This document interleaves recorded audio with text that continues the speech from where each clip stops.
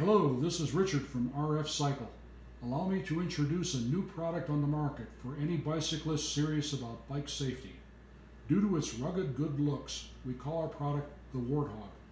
It is a wireless blinky, brake light, and turn signal combined into one highly visible assembly even in the noon Albuquerque sun. The light is turned on by pressing a single water resistant button. Note the ease of placement. Note, no cumbersome wires. Now the magic. When Alex squeezes the brake lever, the brake light signals with a very bright, unmistakable brake signal showing the rider's intentions. The turn signal is controlled by two buttons on the small fob mounted on the handlebar.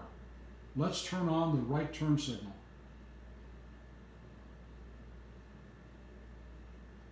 When a turn signal is engaged, it gives an audible buzz to remind the rider to cancel the signal once the turn has been made.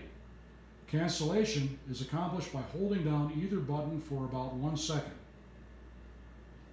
Normal operation is now resumed.